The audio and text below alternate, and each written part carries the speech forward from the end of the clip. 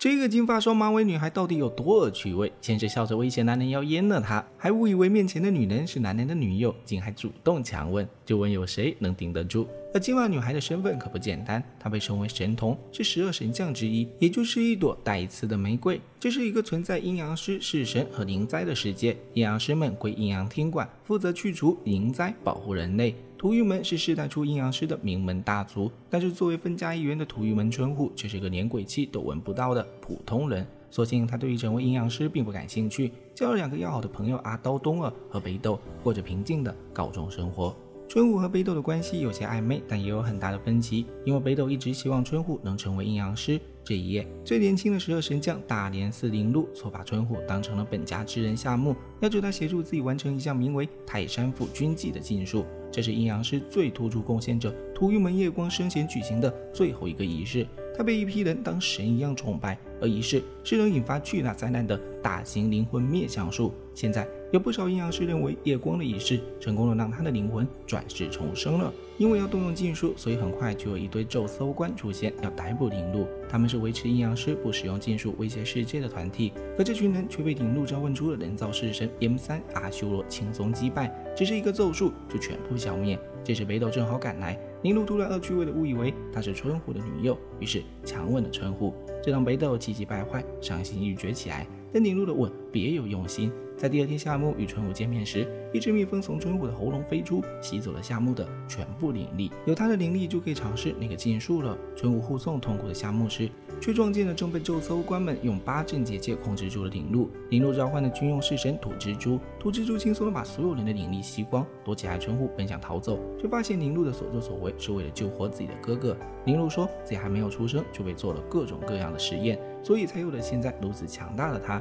可是他的哥哥却没能活下来。春虎耐心地开导他，不要以命换命的方式去救哥哥。就算哥哥回来了，也不会开心的。突然，有个咒搜官竟然偷袭铃鹿，这让铃鹿暴怒，结果却错手杀死了出来救春虎的北斗。这一刻，春虎才知道北斗只是一个式神，一个提神，一张符咒。北斗消失了，春虎追悔莫及。他现在不想再逃避了，便去请求夏目成为了他的式神。随即，二人去后山阻止铃鹿的仪式。铃鹿已经一切准备就绪，看到二人就放出了土蜘蛛和阿修罗，而夏目则放出一条真龙式神，也叫北斗，由他来牵制阿修罗。然后春武拿着破除封印的护身剑和夏目联手重伤了土蜘蛛，但是他俩没能阻止仪式，不过仪式也并不成功。铃鹿的哥哥变成了傀儡，一起来就要掐死铃鹿，幸好春武拼命的打断了傀儡线，才救了他。之后，因为成为了夏目的式神，春武和冬儿一起入学阴阳塾，这是专门培养精英阴阳师的学校。二人一进入学校，就感受到了夏目一直以来承受的期望和压力，因为他一直被当做土御门夜光的转世来培养。春武二人是半道插进夏目班级的，这班里的仓桥金子十分不服气，他自己是校长孙女，父亲又是阴阳厅的长官，自身能力也很强，不愿与废物同班。没过几天，金子又来找春虎的茬了。不怕师大的班主任大有正直接让二人进行式神 solo。春虎的式神是一只可爱的小灵狐，也是父亲的道别礼。而金子的两个式神简直是黑白双煞，春虎自然落败。不过金子的刁难其实是在引起夏目的注意。从小夏目女扮男装示人，金子就喜欢上了他。所以在课间，亲自找春武道歉，结果夏目在他们眼前被夜光狂热信仰者的走搜官给掳走。他逼着夏目收他为式神，想要成为他的飞车丸。而飞车丸是夜光的两大式神，还有一个叫觉醒鬼。春武等人急忙进入结界，周搜官就放出了一只独臂的凶猛式神，称他为觉醒鬼。众人惊骇，如果是真的觉醒鬼，自然是打不过的，但他是假的。所以在春武他们的配合下，最终还是救出了夏目，而夏目也放出了北斗，只见北斗一口就把他给吃了。最后，夏目搬进了春武宿舍的隔壁。虽然春武知道她是女孩，但同学们不知道，就导致一些腐女社间对他俩有很多幻想，一度认为两人是基建对象。这天周末，夏木和春虎出来逛街，本来要买衣服的，但是找不到店。夏木还因此发脾气闹别扭，最后他气冲冲的闯入了都是情侣宾馆的地方。恰好天空作美，下起了大雨，身后又有射箭跟踪，想要看击剑过程，二人不得不开房去躲雨以及躲避他们。谁知射箭叫来很多人用符咒搜寻二人，连半岛大友镇都来了。危机之际，只好基友东儿帮夏目脱了困。结果春武却被误会成是和式神小灵狐开了房，这人兽关系岂不是更不好解释了？而明天就要举行阴阳术的实战技术考试，十二神将之一兼奏搜官的部长天海大善找到了大友镇。二人聊到两年前曾经发生过的那一场恐怖灵灾袭击，其幕后主使其实是双脚会，所以他们一直都在调查双脚会。这一次，他们查到双脚会与阴阳师六人部千寻接触了。果然，第二天的实战考试，在千寻的暗箱操作下，现场逐渐演变为恐怖灵灾袭击。名为夜的移动型灵灾，也就是鬼出现在现场。随之，十二神将之一是鬼者精灵鹿出现，他是超强的伏魔官，就算是等级三的夜，在他面前也是轻而易举的控制住。但是暗处的千寻又给夜吸收了鬼气和灵脉，让夜逃走了。精灵鹿在现场发现了东二是未成型的移动型灵灾。东二在两年以前还是个普通人，但是在两年前的那一场灵灾恐怖袭击中被鬼袭击附身了，才导致他变成了神鬼。之后就一直接受春武父亲的治疗，春武在照顾他时也渐渐抚平了他的戾气。目前本市一共出现四只叶，被消灭掉两只。为了寻找余下两只，伏魔局决定利用夏目的真龙做诱饵，因为真龙的灵气极纯，并由十二神将之一的木木和肘搜官平良多保护夏目。现在春户在到处寻找从医院跑掉的东儿，东儿有些自甘堕落了，不愿意再做个定时炸弹活着。他自我放弃的想着完全变成鬼算了，然后被处理得一干二净。春虎找到了他，他丝毫不害怕变成鬼的东儿，他相信两人的友谊，更相信东儿是个打心底就善良的人，所以春虎一拳一拳的把东儿打回了人类模样。夏目那边成功的引出了两只叶，但是他们都变得更加强大了。结界要关注他们时，千寻又在暗处给两只鬼输送了灵脉，导致一只叶又逃走了。木木和夏目去追，其他人镇压另一只叶，在追的路上，千寻现身了。于是木木和千寻单挑，春虎找到了他们，就和夏目继续追叶。春虎坐上北斗与叶大战三百回合，但都是以卵击石。这时，东儿从医院醒来，想到校长教他要学会调教身体里的鬼，把鬼的力量化为己用，就像精灵鹿一样。于是，东二坐上坐骑，全速出发，给春虎送法杖。这是大友镇送给春虎的武器。他第一次尝试用鬼的力量，将力量聚集在法杖中，扔给春虎，然后由春虎给叶当头一杖，叶元气大伤，落下了，被夏目成功修复干净。可这时，极强的大佬卢道满，以恐怖的气场出现。他一脸和蔼地表示，希望春武他们这群菜鸟能快点成长，然后去到他的身边。在新生大会上，林路作为新生代表出现，他利用自己甜美的外表，立马成为全校人的憧憬对象。然而，他恶趣味的表示，春虎拿走了他的初吻，瞬间两人之间的故事成为了大家的热点。不过，还有一个问题，就是之前双方干架时，夏目是以女装模样面对林路的，所以当务之急是让林路不要拆穿他的女生身份。然而，当春虎去找林鹿，却发现林鹿并不知道当初跟自己打架的女生就是夏目。林鹿对于春虎的感情是复杂的，一方面春虎救了一心寻死的自己，一方面自己又杀了他的好友。林露开始疯狂黏着春虎的生活，总是猝不及防的找他，让他介绍夏目给自己。导致夏目不得不随时警惕，然后藏起来。可到最后还是暴露了。夏目女扮男装的事成了把柄，林路就以这件事开始疯狂的使唤夏目和春户。一个周末，林路执意要参观春户和夏目的寝室，夏目坚决不允许，就被林路给绑了起来。在林路要破除他房间壁橱的封印时，夏目着急了，一个急眼把林悟空扔到了林路身上，还召唤出北斗来。因为夏目这一砸，导致第二天林悟空没办法隐身，也没办法解除实体化，所以春虎就让他待在家里。但是空十分想跟着春虎，就乔装打扮来了学校。结果午休时，他穿着春虎那印有老虎纹样的外套，藏来藏去的时候被误认为是老虎。结果全校发动了防虎警报，连十二神将都惊动了。最后发现是一场乌龙，春虎他们就被大友镇给臭骂了一顿。之后班级集训，大友镇带着一班的人去山上野炊。东儿私下找上林路，给他看自己的鬼形态。东儿身上附身的鬼，其实就是两年前大年寺知道用自己的身体为代价想下的鬼，而大年寺知道就是林路的父亲。东儿这样告诉林路，是希望林路能够承担起他父亲对东儿的伤害的责任，然后跟他们统一战线，共同保护夏目。目前会袭击夏目的主要威胁是双脚会，由过激的夜光信徒组成的秘密结社，他们势力大，一心想要唤醒夜光。那么夏目就有疑问了，他自己真的是夜光转世吗？林路表示依旧不能断言，但是有人曾经写下报告书，内容中提到用押韵就能判断谁是夜光的转世。亚玉是夜光生前最喜欢的大衣，说是大衣被保存在阴阳厅中，但又有传言真正的亚玉被保存在阴阳书里。林路嘴上说不愿意帮助春户他们，是因为他有些讨厌夏木。他能感受到夏木跟自己一样喜欢着春户，而春户表明自己确实喜欢北斗，一直在期待和北斗背后的施术者见面。夏目发尾上的丝带与春武当时送给北斗的丝带几乎一模一样，这让春武很是迟疑。如果北斗就是夏目的话，春武应该怎样面对自己的主人呢？毕竟自己可是他的师神呢。所以春武很想知道北斗是不是就是夏目，为此夜不能寐。而夏目也很想告诉他真相，但又担心两人的感情会变得奇怪起来，为此双方都很别扭。在这期间，卢武道满有了新的动作，他十分高调地通知阴阳厅，明天就要取走阴阳厅里的牙玉，又名牙玉之。卢武道满是活了很久的老阴阳师了，实力不可估量，为此阴阳厅聚集了十二神将，共同御敌。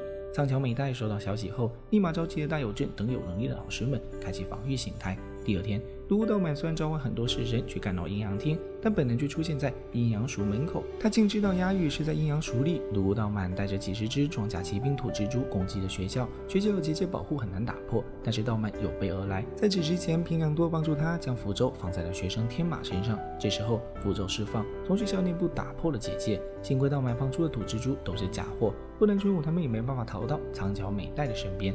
美代在楼顶放了土御门实施大家用的祭坛结界，但是被道满一击打碎。夏目放出了北斗，道满却把北斗抓住，想把他变为自己的式神。幸好本岛大有镇现身，这是大有镇与道满的第二次见面了。当初第一次见面时，大有镇一招未出就先自己一退逃走。道满明白大有镇是个极度冷静而且拥有大局判断能力的人。废话不多说，大有镇先是用一套五行之术声东击西去解救北斗，接着他使用出了八目烛龙镇压咒，这是一个古老到没有记载的诅咒。作为咒术狂热爱好者的道满被大有镇打得兴奋了，既然不能破解，他就想强行用灵力破解，最后两败俱伤。但大有镇因此确定了道满不是人类，而是荒域灵，俗称黄魂。再确定了是已死灵灾，就可以用消灭灵灾的方法去消灭道满。大友镇事先就准备好了大威德法，再配合木木一起将道满净化修葺。本来道满死前想透露点什么，不过却被按住了平阳都灭口了。在目睹了大有镇和道满的这一场 solo 之后，春武对咒术有了前所未有的兴趣。这一晚，春武和夏目想去学校楼顶再看一看家里的祭坛，在那遇见了自称多鬼子的红发女人。她说自己也是阴阳塾的学生，但是事后却查无此人。多鬼子透露，这所学校本来就是夜光创办的，而苍桥美代是他收的第一代学生。为了了解更多关于夜光的事情，春武他们去图书馆调查阴阳塾的资料，最后只找到一位叫早乙女娘的人和大有镇是同期生的资料。早乙女娘是研究夜光的开拓者，关于阿玉的记载也是从她那知道的。说起早乙女娘，春虎进来结识了一位很可爱的学姐，超级喜欢令狐空的学姐，而且也自称叫良，这让春虎有些在意。周搜关的部长天海大善去医院看望曾经的部下兼心腹大有镇，告知自己决定对周搜关们进行一次大清理，清理掉所有的双脚会卧底。这次的清理计划指不定会爆发什么样的战斗，所以由金陵路保护夏目等人的安全。金陵路放出了一位叫雪芙的式神保护他们，自己就去休息了。听林路说雪芙是个极其危险的式神，天海大山的这一次清理足足准备了一年。他也早已发现平良多是双脚会的一员，然而他不知道平良多竟然能够召唤八乃童子这种超强的式神。但能当这搜官部长的他，靠的可是一双巧嘴。他最终巧妙的在交谈之中用语言给平良多下了咒，然后打晕了他。可匪夷所思的是，平良多倒下后。竟然变成了多鬼子的模样。天海大山找到部长，说明了多鬼子的情况。部长却说，这个相马多鬼子是大连寺智道家族的一员，他是相马家族的最后血脉。部长承认了他与双脚会有关系。随后知道真相的天海大山就被解决掉了。和一个双脚会的漏网之鱼找到了夏目。他被雪芙一刀劈死，但是此人还是放出了很多只高等级的影灾。为了保护大家，夏目放出了北斗，但依旧很艰难。喜欢杀厉害角色的雪芙对北斗十分感兴趣，要跟他一较高下，于是追着夏目他们打。雪芙丧心病狂的把夏目的衣服都打烂了，导致大家都知道她是女生。看着受辱的夏目，一旁的春武镇定下来，寻找变强的方法。大有镇和精灵路都说过，春武有很强的灵力，但是却无法掌控，所以。春武从他与夏目签订了式神记号，找到了控制灵力的突破口，然后再模仿大友镇和林路的咒术，最终打败了变态雪夫。夏目的女生身份让她成为了学校的热点，但是大家并没有责备她的欺骗，反而纷纷感谢她之前保护了大家。但是这也让金子想清楚了，原来小时候在土御门家里一见钟情的男孩并不是夏目，而是春虎。而春虎也从金子的话语中惊醒，原来自己在儿时答应过帮金子把绸缎找回来的约定。然而一大早，春虎就收到了父亲报平安的短信，在六小时前。土御门家还没有被烧光。收到短信的六小时前，阴阳厅的部长派两位十二神将去土御门家家住土御门太纯那夺走的牙玉。因为双方打斗，导致整座府邸都被烧了个精光，太纯也消失不见。而道满并没有被杀死，在他的弟子曹云李良的帮助下，重新将魂复活到一个小孩身上。他找到了大有镇，决定给他胜利者的奖励。于是大有镇就问了双脚会的幕后主使，道满只说跟阴阳厅有关。多鬼子听说部长拿到了亚玉，就十分激动的去学校接近夏目他们。多鬼子被部长他们称为公主或者缺乏常识的舞女。六人部被复活成为多鬼子的食神后改名为蜘蛛丸，而大年寺知道被复活为多鬼子的食神后改名为夜叉丸。在契约上，两人又叫马来童子。多鬼子很真诚的要跟夏目做朋友，他说自己是双脚会的一员，为了表达自己的真诚，他要和夏目 solo。然而在他要动真格时，大友正及时赶到阻止了他。在很久以前，被推上阴阳寮顶端的是土御门，而支持土御门的是苍桥和小马一族。不过战争结束后，小马一族就销声匿迹了。在多鬼子拿到押狱，他迫不及待的想要唤醒夜光，却得知夏目是女孩子，而苍桥美代也才知道她是女孩子。夏目是女孩子，就意味着她不可能是夜光的转世。苍桥等人这时候才知道，被土御门太纯骗了十几年，因为太纯曾经给他们看过星象，夜光会转世到他的血脉中。而且当时还在腹中的孩子明显是个男孩，多鬼子立马明白了，春虎才是太纯的孩子。因为春虎今天对于多鬼子施展解除咒语的咒术有强烈反应，而夏目只是太纯用来掩人耳目的牺牲品罢了。期间，觉醒鬼和早乙女娘一直在暗中观察春虎，所以觉醒鬼却告诉夏目，现在春虎的咒语还未解除干净，如果让他穿上鸦羽，必定会有性命之忧。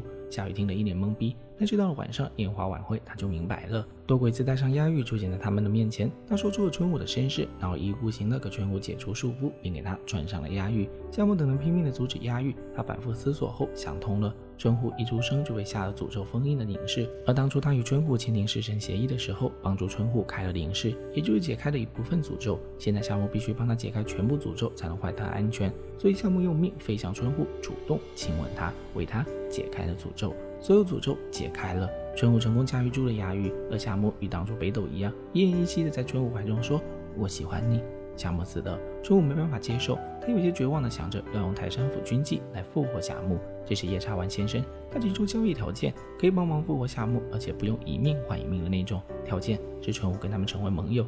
最后，春虎他们就被阴阳厅的人给带走了。春虎被单独关押问审，也不让任何人去看夏目。但是大友正还是偷偷的去看了一下夏目，看到自己学生死的，大友正自然无法袖手旁观，他立马通话道满，希望他陪自己一起大闹阴阳厅，去把春虎救出来。而阴阳厅部长苍桥元司早就选好了，让金陵路去跟大友正打，而地宫则跟道满对决。苍桥元司和夜叉丸会见的春虎，继续说服他跟他们成为同伴。这时小林浮空斗胆现身，觐见中言，一番诚恳的话语，终于把冲动的春虎给说明白了。就算假借恶人之手复活夏目，夏目也不会高兴的，所以他决定用自己的力量来复活夏目。外面的早乙女娘找到了百之天马，百之天马一直都是春武他们阴阳叔一群人中最弱的，也是最容易被忽视的一个人。所以早乙女娘让没有被盯梢的他潜入阴阳厅，去把封印押玉的牢笼打开。天马成功了，正好东二也找到了春虎，在金子和林鹿的搅局魔法之下，成功带走了春虎，而夜叉丸自然追了出来，但是却被太纯事先准备的幻术给困住了。春虎成功逃走，所有天马转告梁的话，让春虎掌握押玉的力量，梁会帮他复活夏目。然后木木出现了，他绝不允许有人使用禁术。大友正也来了，可他却支持自己的学生。突然，金子获得了关心的能力，他看到了这个世界只是世界的一部分，咒术也只是人为定下的。而且夏目还在等着春虎，于是春虎他们更加坚定去救夏目。在春虎去接夏目的路上，碰见了金陵路，这是个难缠的人。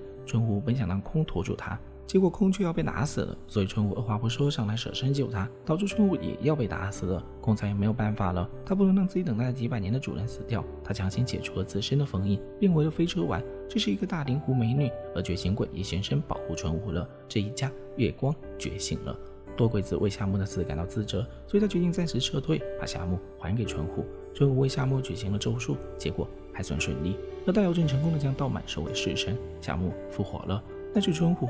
或者说是夜光又转世了。片名《东京暗鸦》，一部打斗画面算是很精致的战斗番，但人物可能较多，以至于不管是解说还是看番，可能都会比较辛苦。而关于全片中最喜欢的角色林露，从小被人在身上尝试各种禁咒，为了复活哥哥，最后黑化也算是演绎全开。但还好黑化后被男主劝回，只是我仔细一想，男主一开始就告诉他不可以复活死者，被感化后便喜欢上了男主，结果却在结尾女主死了，男主却要复活。这双标的操作虽然难受，但毕竟拥有前世记忆，肯定会发生改变。自己的招数想怎样就怎样。我相信很多看过暗鸦的人，应该更喜欢的女性角色是林露吧。